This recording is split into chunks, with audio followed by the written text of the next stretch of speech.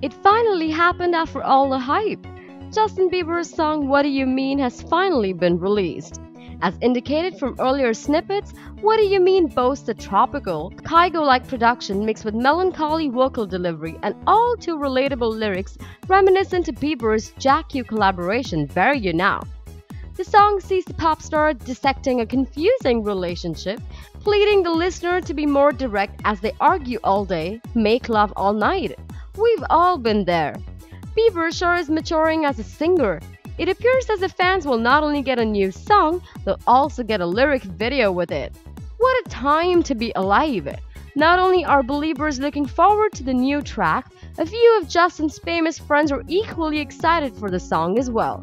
Taylor Swift better watch out because Justin has a pretty impressive army of celebrity friends too. The Where Are You Now singer recruited the likes of Kate Hudson, Britney Spears, and many more to help him count down the days to What Do You Mean? So, what are you waiting for? Click on the link in the description below to watch the teaser and the lyrical video.